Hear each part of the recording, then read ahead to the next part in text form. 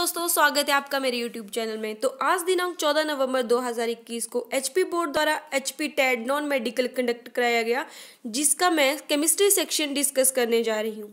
तो मेरा first question है conversion of solid into gas without undergoing into liquid state is called the right answer is option number A sublimation the next question is vaporization cause the right answer is option number A cause cooling next question is dash are stable the right answer is suspension suspension are more stable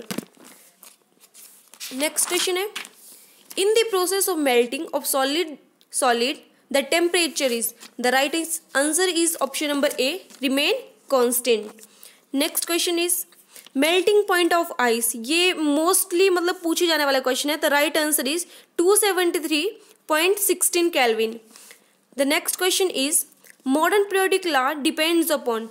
The right answer is atomic number. Next question is, the number of neutron in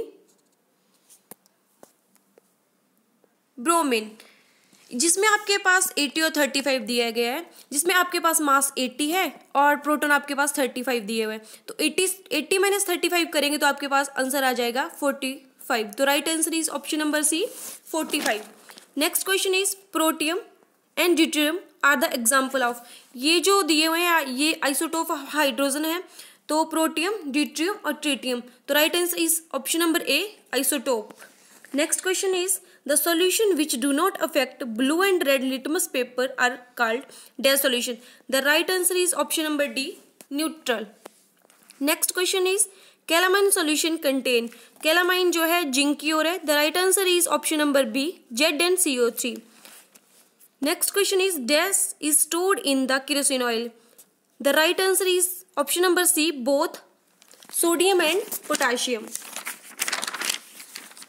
next question is aluminium iron and zinc react with the right answer is all of the above क्योंकि जब ये इस steam के साथ react करता है तो ये मेटल ऑक्साइड बनाता है और हाइड्रोजन बनाता है।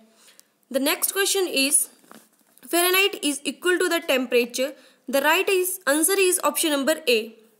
Next question is after white was the wall shine after 2 to 3 days due to the formation of the right answer is option number B CaCO3 calcium carbonate. The next question is decomposition of vegetable matter into compost is N. The right answer is option number A exothermic. Next question is diffusion of dash is possible in liquid. The right answer is option number D.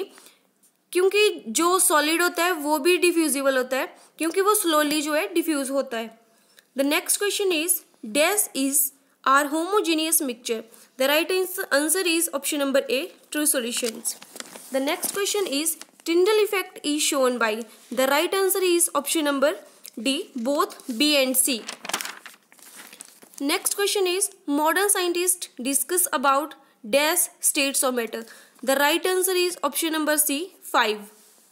Next question is atomic radius dash as we move from left to right in a period. The right answer is option number A, decrease. Next question is dash is an antacid. The right answer is C. Magnesium oxide.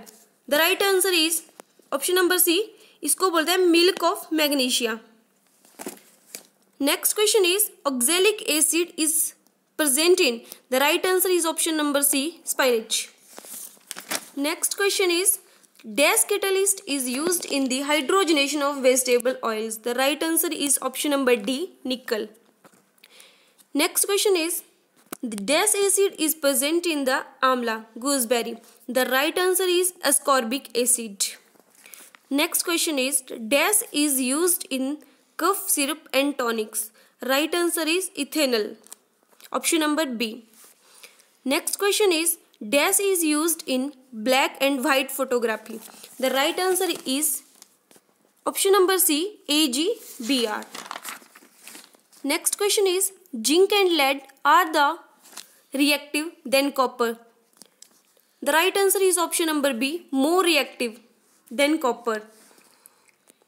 Next question is, following reaction is an example of dash reaction. The right answer is option number A displacement reaction next question is heat is evolved in the right answer is option number C exothermic exothermic reaction में heat evolved होती है. Next question is to prevent the oxidation of oily and fatty food material dash are added to them The right answer is option number B antioxidant. Thank you friends.